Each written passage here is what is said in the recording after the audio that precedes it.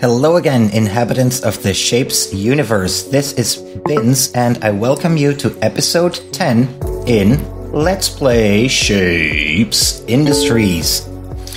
We left last episode having built a, um, a factory for level 20, and I said to you that I would let the shapes run into the hub um, off camera, which I kind of did, uh, but I stopped at 4,900 items so that we could unlock the, uh, the belt crossing together and have a look at that. So let's do that first, shall we? Unpause.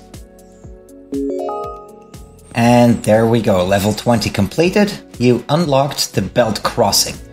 The belt crossing passes two belts over each other with no interaction between them. Incredibly useful the belt crossing can help you compact your factories down to a fraction of their previous size. Well, yeah, I can imagine. It's a one cell building that lets you you know like the like the wire crossing it lets you do that on the physical layer so i'm sure that will come um, that will come in handy now this level 21 shape, I have a little confession to make. Uh, I looked at this shape off camera a bit because I thought, you know what?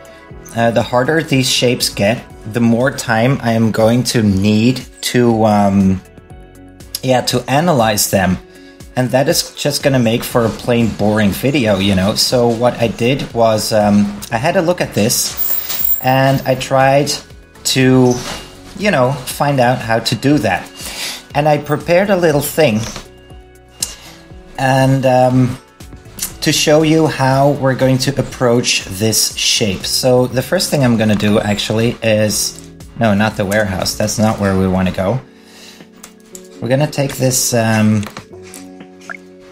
we're going to take this signal and we are going to put it here as a reference. All right. So I had a look at this and I tried to recreate how to do this shape on the virtual layer. Now, disclaimer, in order to do that, I noticed that I didn't have virtual versions of the smelter and the combiner, which we I feel we definitely need for this shape. So, um, what I did was actually I went ahead and installed the Wires Plus mod by Skimner Fi right? And that will help me to recreate this shape virtually. Now, full disclaimer, I do not intend to use the Wires Plus mode for the mod, sorry, for the time being, um, to assist me with setups that weren't initially intended by Sense 101, which is the creator of Shapez Industries, right? But I will use the Wires Plus mod in order to help me analyze the shapes and figure out how they need to be assembled. So, in order to get this shape, I worked out the following. Have a look. Um, the first thing I'm going to do here is we are going to split both of these shapes in half. Okay, um, and one of the both, one of two, we are going to flip that 180 degrees. Then we're going to get from that. Actually, as a matter of fact, I think I want to do this one. So we are going to get from that, if we stack it, a square. Is that what we want?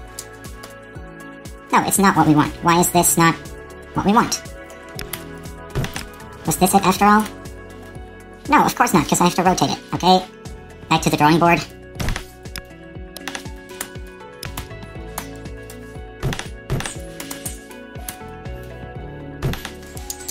There we go. That's going to give us a full square. And then this is going to give us a windmill, right? There we go. There we have the square and the windmill. Now, the square can be combined with a belt of circles. Let's see that virtual combiner. Here it is. In order to create that shape. The rounded circle. And the windmill we are going to need to combine that with half a star. But first, let's decompose the other windmill. So, another cutter. And then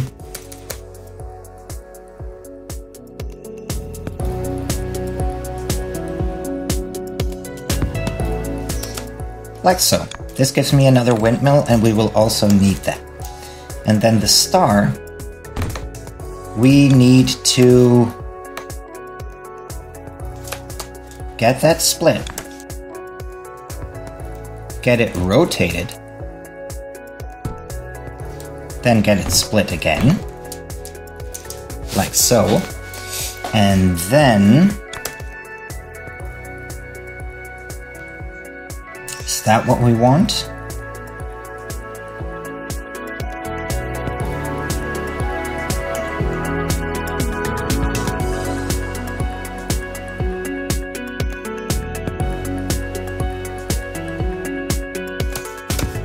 Okay, took me a bit, but we're there. So we have one windmill, two windmills, and this combined shape. The thing we want to do now is get another another combiner out here. Because we need to connect one windmill to the um, the half star shape. So that we get this. And is this the correct one? No it is not. So we get this instead. That is correct. And now we get that rotation out here and we get that out there. That is what we want, isn't it? Yes, it is. So, gonna compress this a bit, like so. And now onward to the next step. Now that we have these three shapes coming out, uh, we can smelt them. The next step is smelting. And the virtual smelter is here. So smelt, smelt, smelt. Is that correct? Yes, it is. And then we are going to paint them. Except not the right one. The right one has to be split. It has to be split between green and red, so it doesn't make sense to paint it first.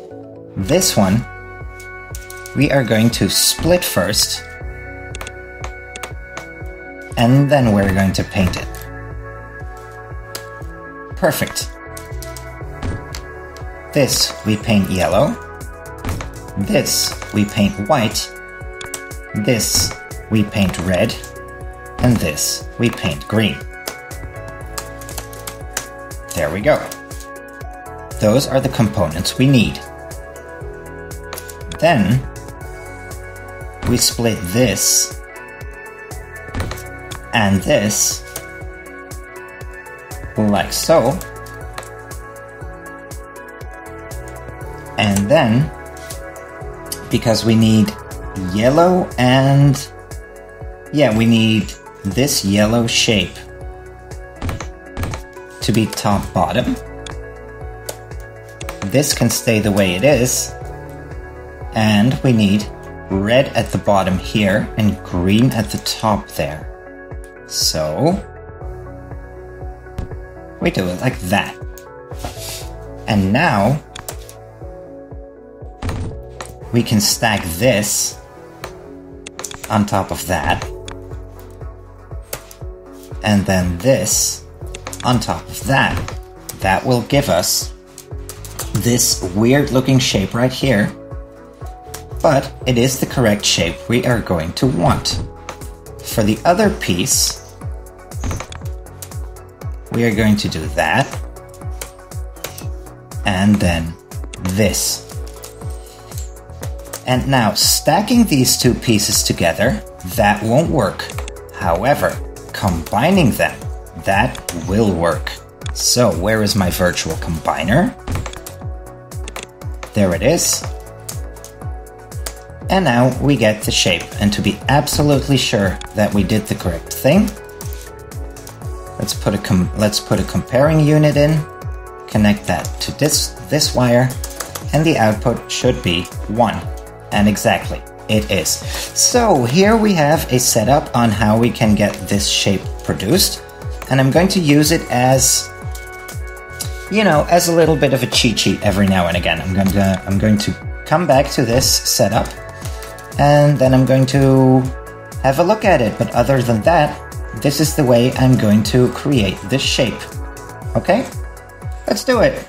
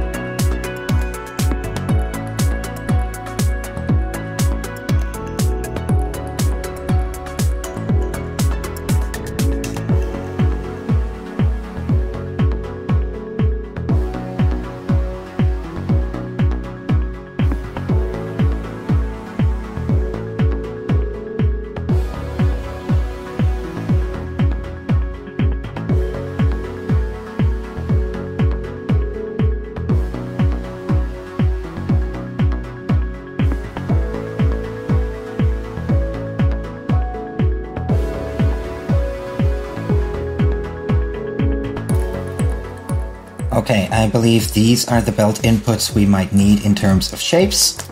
And then now let's have another quick peek at our um, at our setup right here. So what we will need in terms of color is for four belts of output that is four belts of red here, four belts of green here.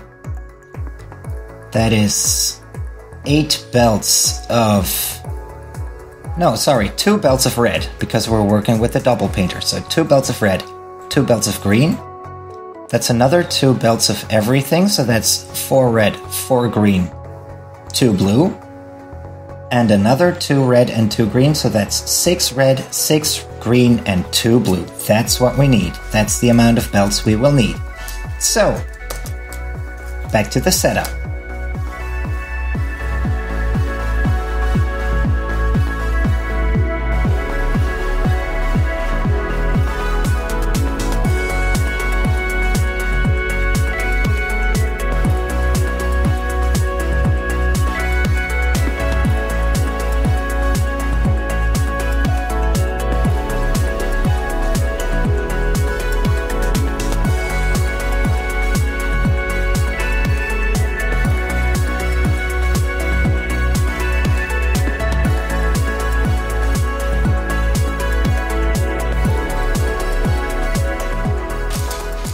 Okay, so that is it. That was quite the setup, wasn't it? Now, we are going to get back to the cheat sheet and then we can finally start actually building the thing. So the first thing that I'm going to do is I'm going to get a, um, a splitter in to get windmills and and squares retrieved from this combined shape. So let's do that first. Off to the warehouse. And then Let's see, would it make sense for me to use this? Yes, it would. So let's use that. Get back to current. And that is the thing we are going to do. First, now how many of the of these do I need? Let's see. I think two will do, right?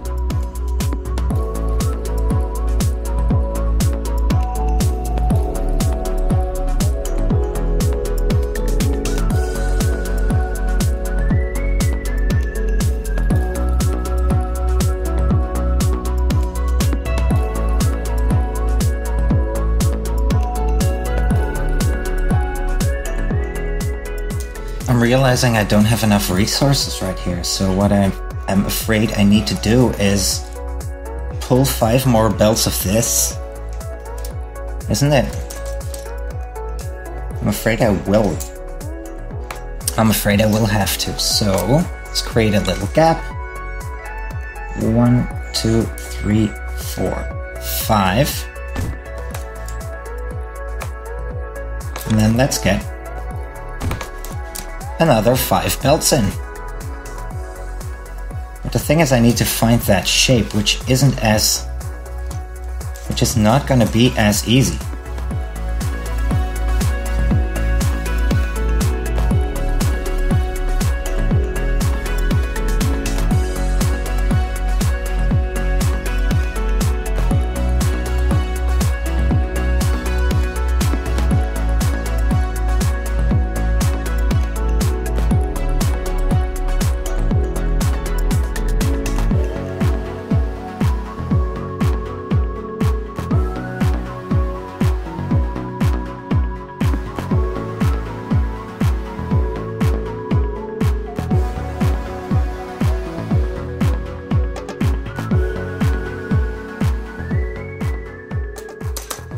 Okay, so that is that. That is roughly the um, the output we need. Now we have some squares here. We have some some windmills here. We have some windmills at the bottom, and we have stars and circles right here. So the first thing I'm going to do next is cut my star shapes up because we are going to need that, right? We are we need one star shape that's diagonal top right bottom left and we need another one that's diagonal top left bottom right. And I think a uh, suitable candidate to do that would be the the laser cutter array I have right here. Is it not? I think it is. Um, now, should I use this one? Let's see if I can use that one has simple wiring, and I think it um, I think it might serve our needs pretty well. So let's run the both uh, the two star shapes in there.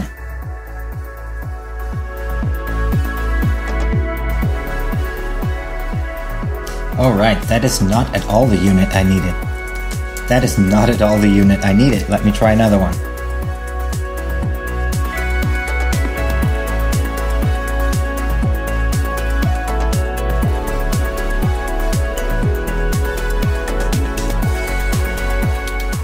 Excellent. Over time, that will give me exactly what I want.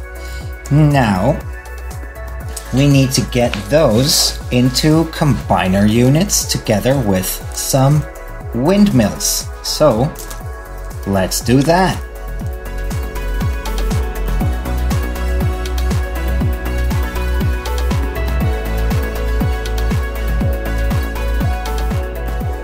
Yep, that looks good. Now the other one.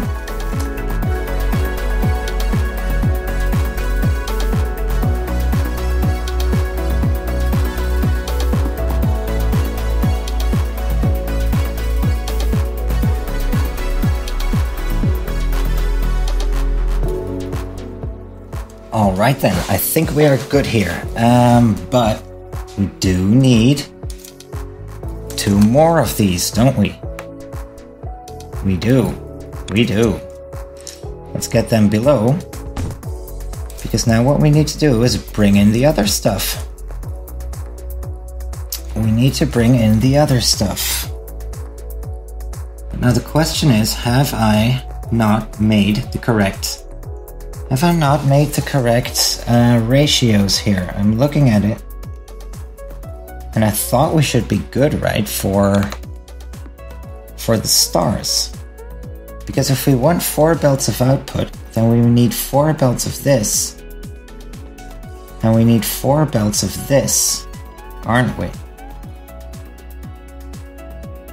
Yeah, and we need two more belts of stars, don't we? We do, we do, we do, we do, we do. Okay, well then. Luckily we have those, don't we?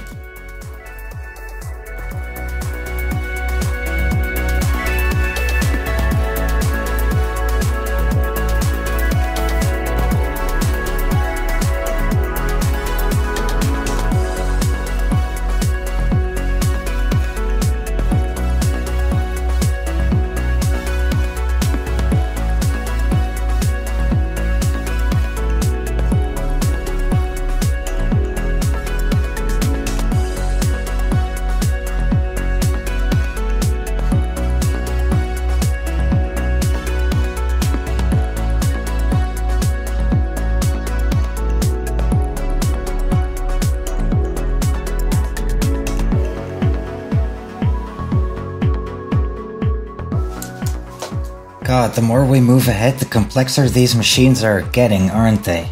But uh, I think this actually looks pretty good. This actually looks pretty good. Um, but not quite. Not quite. Not quite, because the rotation of our stars is not yet correct. In this top machine, we want stars in the top left and in the bottom right diagonal. So if we do that for the first machine of 4, we want that for the third machine of 4 as well, and that is this one. So as a matter of fact, you are okay. And you should be rotating, isn't it? And I think that is the case.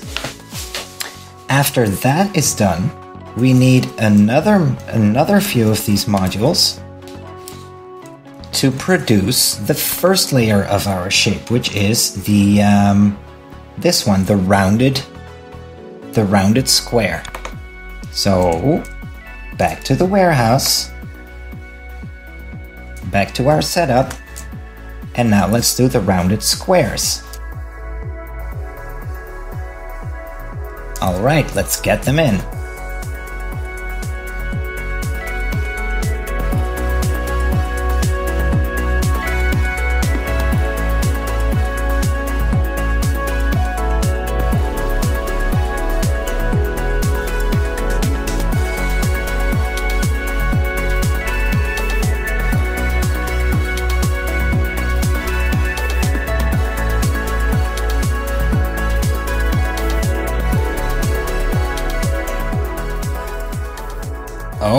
And that is that. Four belts of rounded squares, four belts of these upright, I don't know what to call them, windows, four belts of those flat ones. And this will eventually balance out to a to a full belt again. We need to keep an eye on that. And now that we have all of those base shapes, we can get to painting, can't we? Um, but I am afraid that, yeah, my color stayed behind a bit, so now we need to get that in. Okay, next up, color. Let's look at what we need again. We need uh, four belts of yellow, four belts of white, and then uh, four belts of red and four belts of green, don't we? Well, no, half that. Two belts of yellow, two belts of white, two belts of red, two belts of green. On to coloring. Here we go.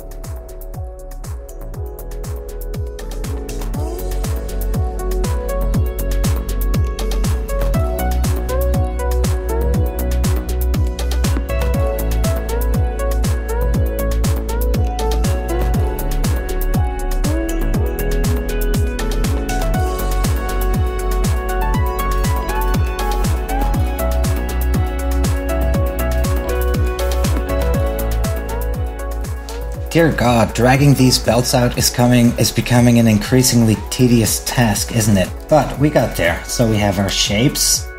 At the top, they're outputting nicely, and we have indeed gotten up to full belts again, which is something I like. And now we can get to painting them. So let's get a few paint arrays out. Double painter arrays. That is that's what I made my calculations for. And then we have some painting to do. So, on to painting.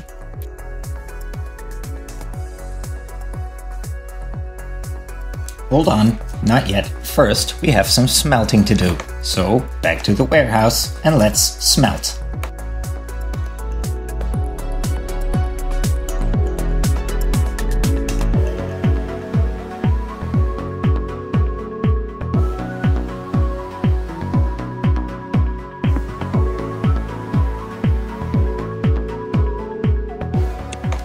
The smelting has happened, we can do the painting.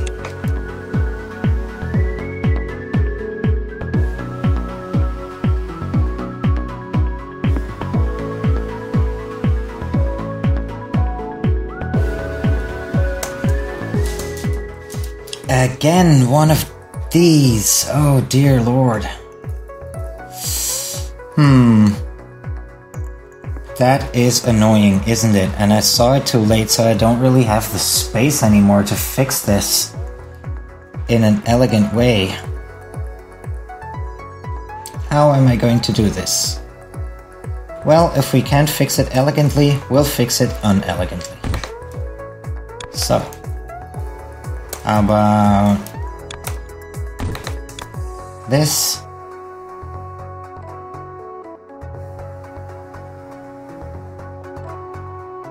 I'm afraid that'll have to do. As long as we get that full belt of yellow paint out, I'll take it. But it looks good now, doesn't it? Yeah, I think so.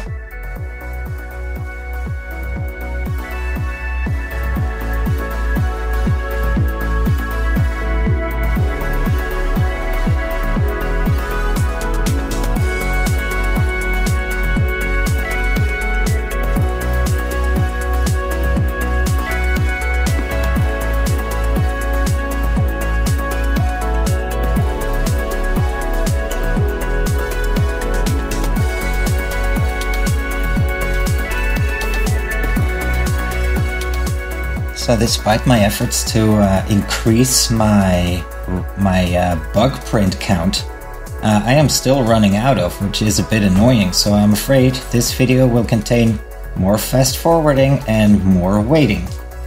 But uh, yeah, lucky there is the power of technology to do that for us. So um, yeah, we should be good in the end.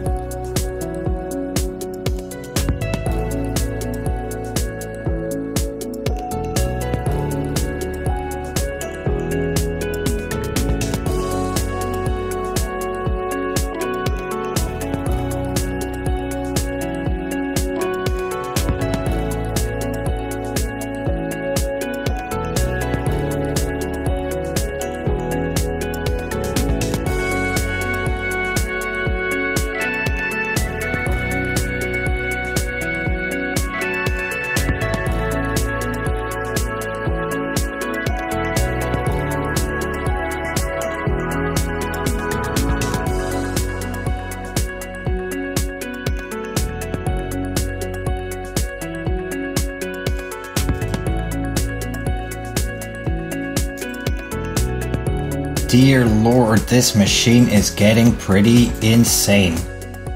What a big machine, and I'm constantly running out of bug prints. So I have to keep waiting until I have enough blueprints, and then only then I can build the next unit. But slowly but steadily, I feel like we are getting there. The next thing I need to do Let's see, this is 950 to copy. This is 2000 to copy. This is two and a half thousand to copy, but it is a quad stacker. Hmm.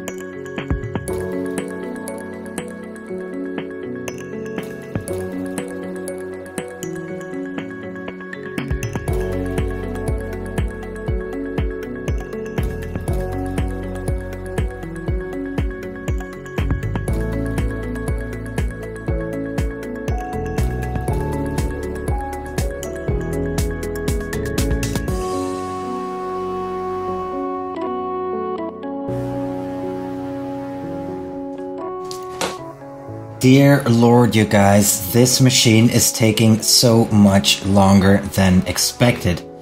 Now, the good news is that I have the components I want and I have them in full belts, but the true bottleneck of this episode is my my lack or, or my scarcity of bug prints and I severely underestimated, to be honest, how big this machine would get. Look at this thing.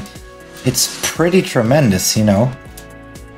And the thing is, I feel like at the moment I have been recording for so long that I kind of want to wrap the episode up here. So the next thing we need to do, if I have calculated everything correctly, is that these are in fact correct components and we just need the um, the combining units to get these combined and then we can run that into the hub. But on the other hand, I also feel like it wouldn't be the worst idea if I just let the game running for a bit to stock up on my bug prints because in the end I think that uh, having four belts of those things is kind of enough. However, um, I just saw it too late, you know. I should have I should have spotted it sooner that I was running out of these bug prints. And um, yeah, I think I'm just going to let the game run for a bit off camera and then just stock up on bug prints. But not to worry, nothing that contains progress within the game will be um, will be handled, so you won't miss out on that. But other than that, yeah, I feel like I am cross eyed a bit from looking at my screen for so long. So, um, yeah, I'm going to wrap up the episode here. Despite not having managed a full level in this episode, I hope you still had fun. I hope you still found it interesting.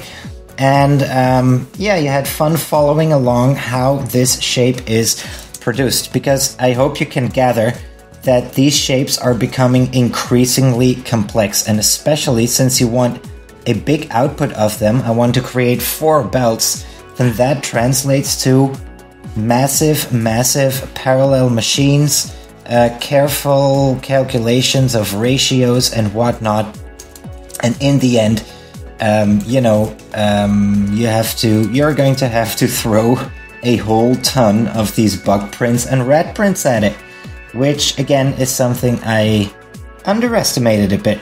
But we learn every day, and um, yeah, today was a day of learning as well, I guess. Anyway, thank you very much for watching. I hope you'll join me next video where we will finish this shape and then get to work on the next one. And we will unlock research tier 3, so that might be interesting. And um, yeah, as I said, I hope to see you then and there. For now, I am signing off, wishing you all a lovely day. Take care. Bye bye.